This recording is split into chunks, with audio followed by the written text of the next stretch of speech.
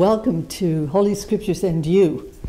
This is where we get together and talk about scriptural backgrounds that we need to understand the Holy Orthodox faith. The church, the real church, looks like Jesus Christ, our Savior, looked on earth. To the external eye, not believing who he was, he looked like a dusty prophet with rabbi tassels, followed by a group of disciples, and saying very strange things, going counter to everything that the Jews have been teaching. Keep the law and you're just fine. Sacrifices will make up for all of your sins, which was, in those days, up until the time of John Baptist, was the acceptable way, and God had this for them in order to realize how sinful they were. They had to sacrifice blood on the altars to realize what was happening within them. It was extremely destructive, and they needed to be purged by blood. This was a foretelling, of course, of Christ's all holy blood, which was what was foretold in the sacrifice of animals. There is none of that because He is sufficient for every sacrifice. Whenever we are martyred ourselves or any of our brothers and sisters, that is to partake of the sufferings of Christ. Not our own separate sacrifices.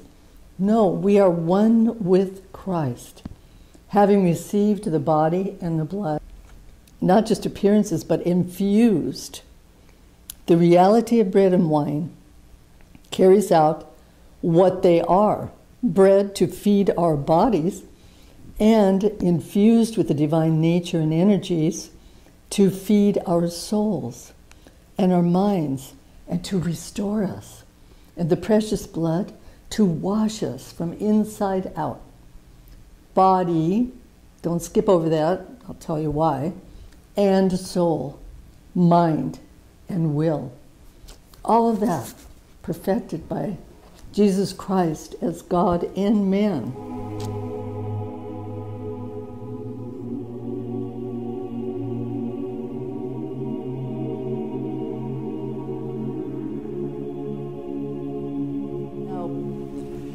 The reason we are called Orthodox is because of what assails the church at all times in all ages. You see often this beautiful icon of the ark. It has Jesus Christ as the head, leading the apostles who are rowing or they're putting up the sails, whichever. And then around the shores, you have, out of, thankfully, out of reach, people, people shooting arrows. These are the heretics, trying to destroy the church.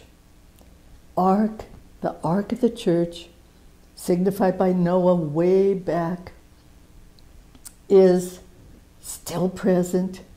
That what is foretold, that which was foretold, is now living among us. As the temple in the New Jerusalem and as the ark for all the nations. That's what those animals signified. All the animals in creation that were there extant that the Lord wanted to save. Those are the Gentile nations. So nothing in the Old Testament is without meaning, but we must look at it from the perspective of Christ and the church. That will give meaning to all that went before it, since it fulfills the meaning of those shadows and types. So the church looks like Christ on the earth. It is, um, it is mocked, especially by the Roman Catholics, I've told you. And uh, the Protestants just dismiss us as the uh, something like the Catholic Church, and they left the Catholic Church, of course. The main counterfeit church religion is that of the papacy. They call it the third fall. Uh, Satan fell, the fathers tell us, of course, from the heavens. Isaiah 11, plunging down, Christ said, I saw him plunge down because of his pride. Secondly, the fall of Adam, heartbreaker. And the Lord Himself became man to go retrieve Adam from Hades and to retrieve all of us, to rescue us from the effects of that sin of mortality, not guilt for sin, but we have the effects of that sin in mortality, that is death, and corruption. That's why he gives us the Eucharist. As the new Adam, he feeds us a replacement that will take the place of that mortality and corruption. 1 Corinthians 15. So, the major push for tolerance and one church world is the papacy. That's what it was designed to do. Charlemagne founded that church in 800, and in it, by the sword, he united, quote unquote, everyone, force converted them, and uh, made them serfs. That's where the feudal system began. Now, if you realize, I don't know if you do, according to Cardinal Vigano, who is a good truth teller within this church, I don't know why he hasn't become Orthodox. He probably is secretly Orthodox. But he is telling us there was a conference before Pope Francis was put in place.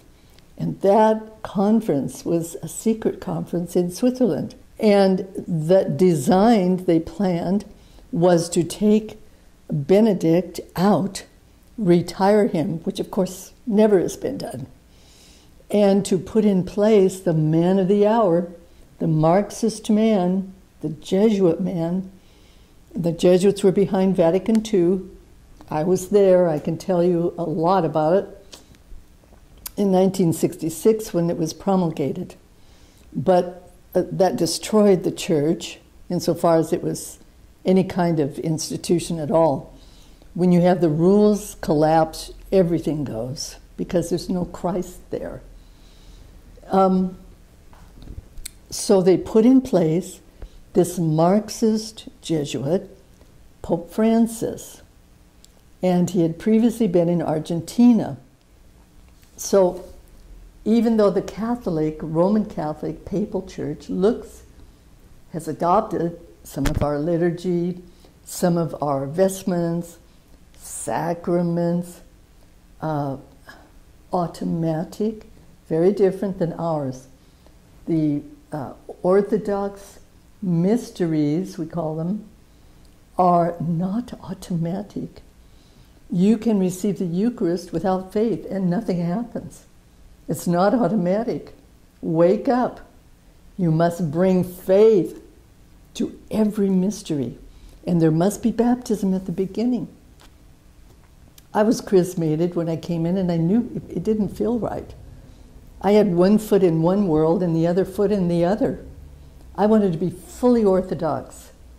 And sure enough, I discovered there were some real problems.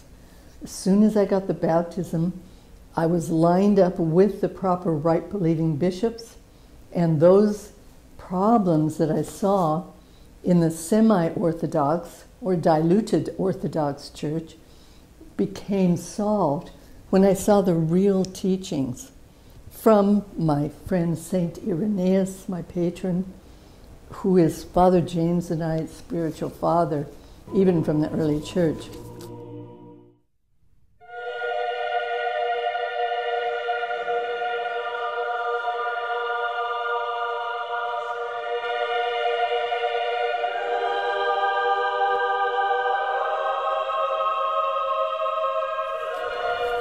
In a word, there is no other church, there is no other baptism except the Holy Orthodox baptism with the fullness of the creed, the Nicene Creed, believed lived, and the fullness of the divine scriptures read and understood with the commentaries of the fathers. How do I know this? Because I've been there. Calling to be a missionary. I went in to be a missionary with this, what I thought was the early church. It wasn't.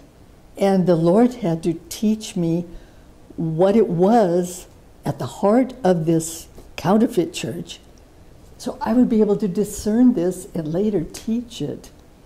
I had no idea I was going to be doing this. The Lord told me right then, the third year of the novitiate, I was going to be leaving the church and the convent, not to worry. So I had to keep being educated. That was part of my assignment from the Lord.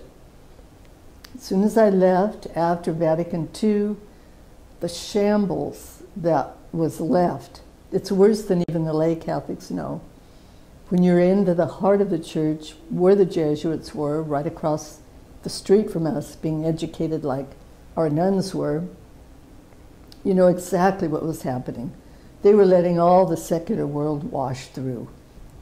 What happened to the Jesuits, this is further proof, false church means I can make up rules, change everything. In the true church, the truth never changes. Our divine liturgy goes back to the collated version uh, during the time of St. John Chrysostom, 325, 350 AD. And that was disseminated throughout all the churches in the known world, including in Europe. Divine liturgy has not changed. Now, a problem here too is our own clergy, some of whom are cradle orthodox. And when they hear sacraments and rosaries, things like uh, terms like this, they think they're all the same because the Greek especially use these terms. I was shocked when I heard our Jerusalem patriarch, patriarchate uh, archbishop Damaskinos say, oh yes, we're going to have mass. I said, why are we having mass? What do you mean? He says the divine liturgy, of course, but we call it mass in Jerusalem. Oh my Lord, have mercy. So and then you'll find people picking up the prayer rope and calling it a rosary. They don't know what the rosary is.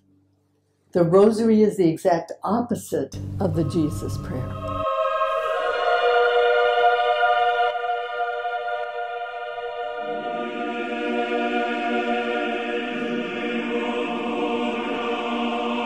And, have the belief in Christ, in the Protestant case, uh, paramount without a lot of teaching from the New Testament to tell the Protestant believer how to live in Christ and because of Him. Again, because there's no church that give a pattern of the holy tradition along with the scripture in order to explain it, not replace it. Did you hear, Protestants? The scripture is not replaced by holy tradition, it is explained and lived lived out in the holy tradition. Now we have the Protestant problems, just explained, and of course the papal church is the genesis of the problems of pushing against the original church.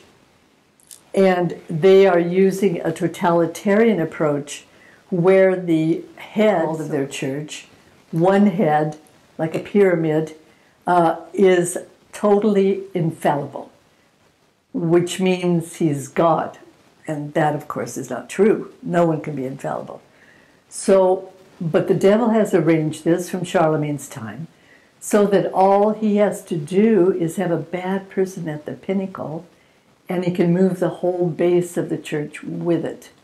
Because people have been taught deceptively that whatever the Pope says is true and infallible and therefore the will of God, and I must follow him.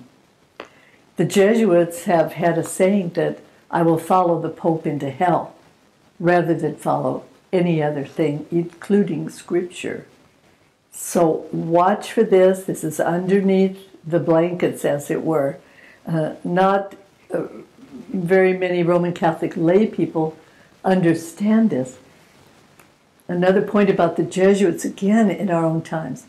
1966, they changed very quietly their vow of chastity to a vow of not being married. Oh my goodness. What does that leave them room to perhaps do in their personal lives? I don't want to judge because many, I'm sure Jesuits try to live out the three vows as they were. But because the young ones coming up are believing that it's just not the external being married, you have the appearances being kept without the heart being devoted to Christ. And again, there are exceptions in every case. I've known beautiful Protestants, I've known wonderful Catholics, but it's in spite of the churches they are in. It's because of the total grace of God that is poured out because they've cried out to Him. It's not because of the church they are holy, in other words, it is in spite of their institutions that they manage, especially Protestants, because they have the scripture. But they can manage if they call on Christ, and of course they will be saved. This is not the reason that we want to be ecumenical. In fact, it is the reason we need to go after these people and say, look, how much easier it is to have the grace bearing mysteries of Christ baptism, Eucharist, that, that are pouring out the grace of God from our head, Jesus Christ.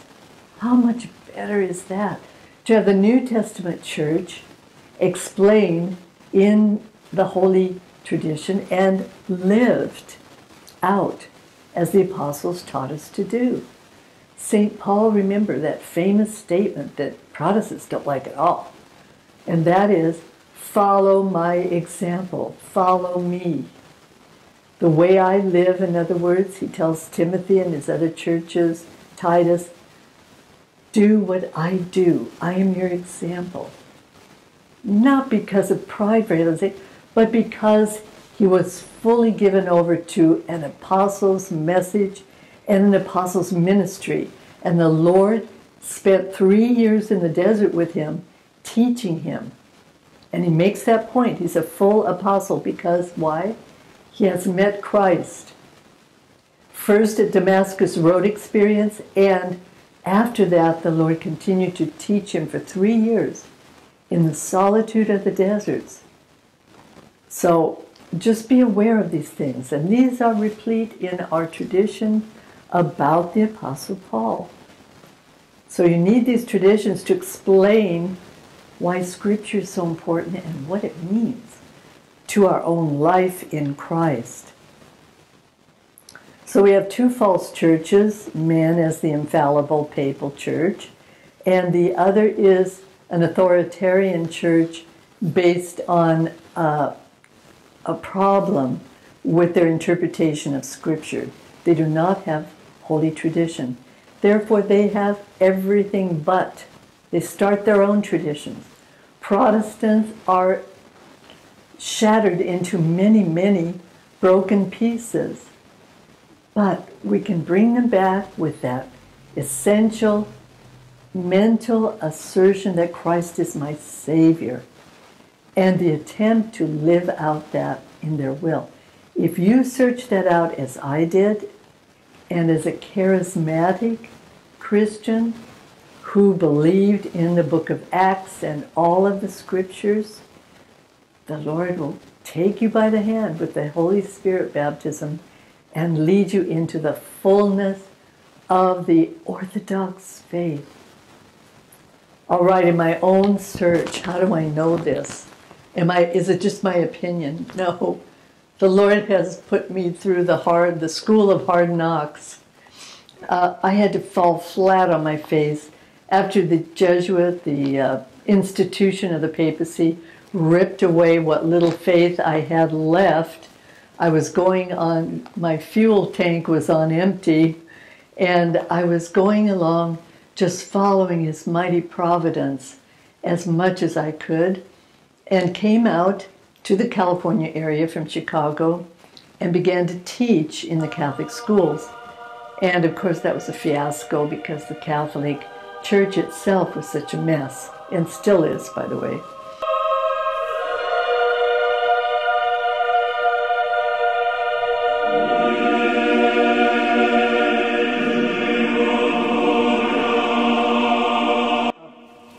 In that search for Christ, I asked what to do after coming into the charismatic movement. The Lord got a hold of me, filled me with that baptism again that I'd had in the convent, and then He started leading me into all the truth. 1981, a huge word of knowledge, giant letters on the wings of the dove of the Holy Spirit coming right at me. Gnosticism on one side, Irenaeus on the other. What brought the Lord to that point? He had to show me, the thick skinned and the thick headed one, he had to show me by visible means, a word of knowledge, it's called, what was going on. It answered my prayer that I had just said, Lord, what is behind this charismatic insanity of naming and claiming scripture and using it against God? Thinking I can use scripture independently of God in order to wrest out from his grasp, so called, all the riches I want, fill my passions, feed my passions, and I can have everything I want on earth, and then I'm saved and I'll go to heaven. All of this tragedy has been wreaked on the Protestant and especially charismatic churches. The name it and claim it, the prosperity movement, whatever you call it, harks back to old Judaism, like so much of Christianity in America, and does not come into the Savior Christ and his church, in which he says, Learn of me, for what? I am meek and humble of heart, and you will find rest for your souls. Instead, we have so much vying for power uh, ambition, wealth. We cannot serve mammon and the Lord. How many times have we heard that in Paul? St. Paul also says the love of money is what? The love of money is the root of all evil. It will make me do incredibly bad things, even use scripture as the devil used it against Christ trying to be tempting to others after I have fallen myself, to go after wealth, which is dust and ashes, instead of the treasure of Christ and following Him.